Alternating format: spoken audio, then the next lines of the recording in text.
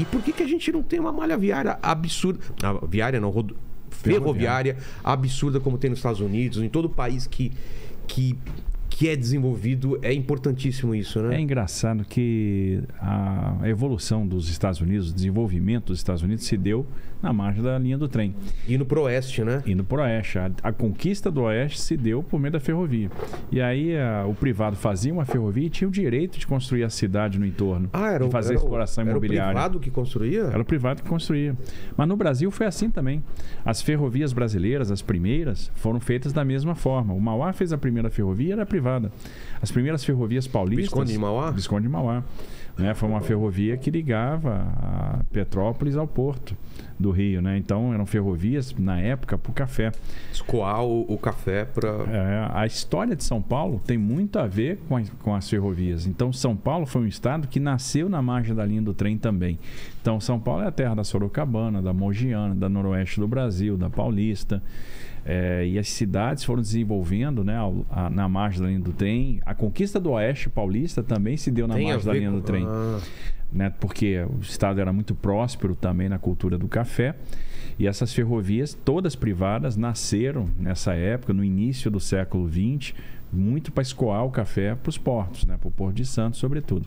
O que, que aconteceu? Com a crise de 29, com a crise de 30, essas ferrovias começaram a ficar em dificuldade financeira. E os proprietários das ferrovias tinham dívidas no banco. O Estado encampou essas ferrovias e acabou assumindo todas elas. Na década de 50 se criou uma estatal para tomar conta das ferrovias e aí vem todo o problema das estatais. Chegou um ponto que a estatal não tinha mais capacidade para fazer investimento, as malhas foram ficando abandonadas. Corrupção. Corrupção, etc. E aí elas começaram a responder por déficits é, no orçamento, déficits fiscais muito altos, muito severos, até o ponto que era insustentável manter a estatal. E o Brasil fez uma opção rodoviária. Essa opção começou quando teve a crise de 30, que o pessoal começou a abandonar as ferrovias, a crise do café, e as ferrovias eram basicamente para escoar café. Ao mesmo tempo, né, o Vargas viu que o Brasil precisava desenvolver uma indústria e ia precisar de logística. O que, que ele pensou? Ele fez o que era mais fácil e mais barato. Vou fazer rodovia. Rodovia é mais barato do que trilho? Do que ferrovia. É mesmo? Para construir, para implantar, sim. Ah, eu achei que era o contrário. É. Depois, obviamente, pelo ganho de escala, a ferrovia se torna muito mais rentável do que uma rodovia. O transporte ferroviário faz muito mais sentido econômico do que o rodoviário. Explica pra gente por quê? Por causa do volume? Por causa por... do volume transportado. E o custo também, é. né?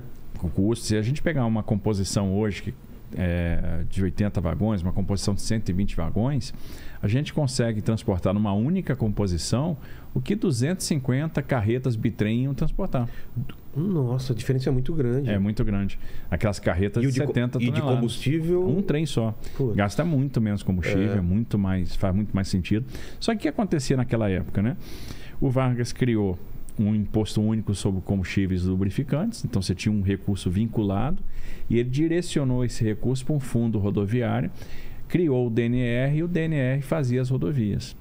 Depois veio todo o estímulo à indústria rodoviária, né? a indústria automobilística, isso já na era do Juscelino. É verdade. Só que por que, que o Brasil fez essa opção? Porque partiu de uma crença que naquela época fazia sentido, que era a crença do petróleo barato.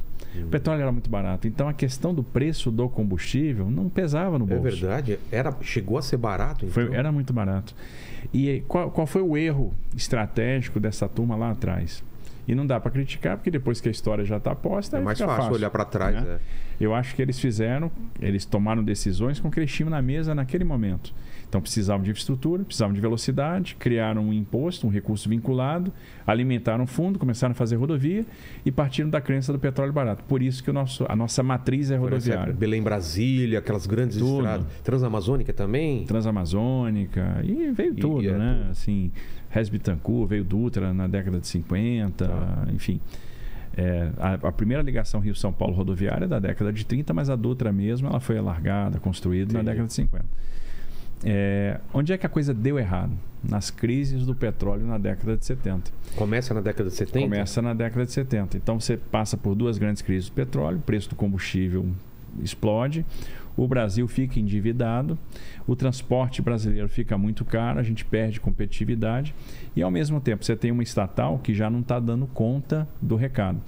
E aquele dinheiro que você tinha vinculado também para fazer infraestrutura, ele começa a ter outra destinação. Então, o imposto vinculado começou a fazer frente a déficit fiscal, endividamento público. Ele estava indo menos tudo menos, menos pra, o que ele precisava ir. Menos para onde ele precisava é. ir. Então, aquele modelo desenvolvimentista ruiu. Você deixou de ter poupança para fazer infraestrutura, as ferrovias ficaram nas mínguas e a gente não tinha dinheiro nem para fazer mais as estradas.